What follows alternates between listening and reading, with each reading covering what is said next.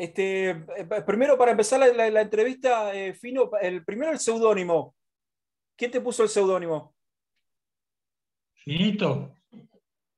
Finito eh, fue un día que me llevaron a una cancha de básquet y había un técnico de corriente en el Club Tokio en Posada y, por ahí dijo, y ese, ese finito que no juega.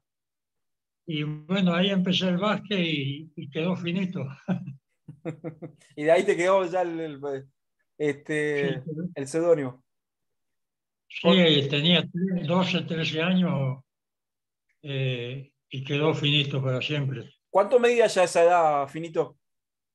Y tenía 1,85 por ahí. A los 12 años.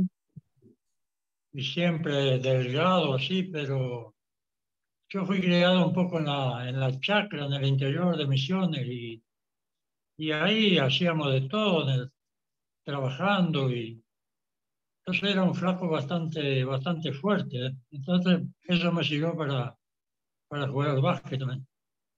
Sí, vamos a comentarle a la gente que quizá no lo sepa esto, pero en la, provincia de Misiones y Corrientes hay una gran comunidad, o hay, sí, bien digo, una gran comunidad de inmigrantes alemanes, este, bueno, y de, esos es este, un poco donde salió. Eh, Mauri Hedman también, para los quizás más eh, en otra etapa de nuestra Liga Nacional, también es de misionero, que, no llegó a jugar mucho tiempo en la selección, pero jugó mucho tiempo en la Liga Nacional, también es de descendencia alemana.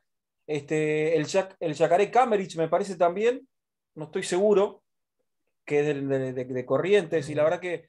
Este... Vamos a volver al, tema de Mauricio Hetman. Mauricio Hetman era un, chico que estaba en Ituzaingó Corrientes, acá muy cerca, que el padre trabajaba en Chachiretá. Y, y un día lo descubrimos, yo fui a jugar allá. Ah, ¿vos lo descubriste? no sabía lo invité a mi casa y, estuvo acá como seis meses. Después le, informé a, a León que él reclutaba en Cañada de Gómez, reclutaba varios jugadores.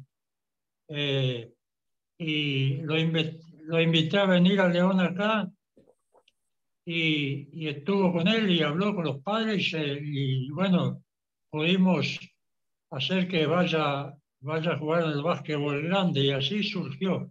Eh, así que mirá la historia, vos, comentaba de Mauricio. Vos sabés que hicimos una entrevista el año pasado, finito, con, con, Mauri, Hedman, con Mauri Hedman, a donde, bueno, él nos mm. comentaba todo esto, pero nunca nos comentó que había sido vos el, el, reclutador.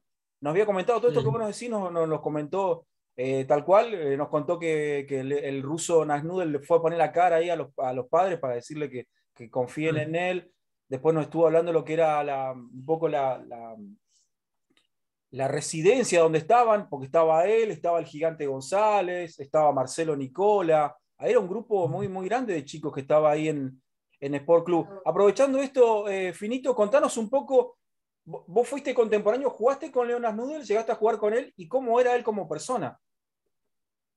No, León era de Atlanta y es muy malo como jugador, ¿no? Porque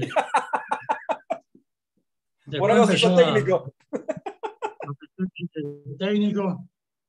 Y yo tengo anécdotas de él que él, quería estar en todos los panamericanos, sudamericanos. Yo no sé si un sudamericano, panamericano, escondido lo hacía dormir en mi pieza, porque él también no tenía mucho dinero para hotel, esas cosas. Entonces él estaba todos los días en los estadios y cuando era la noche, cuando podía, bueno, yo le abría la puerta y dormía ahí en el piso con, con mi compañero y, yo que estábamos en la pieza, ¿no? Mirá que Así pasó. Qué anécdota, che.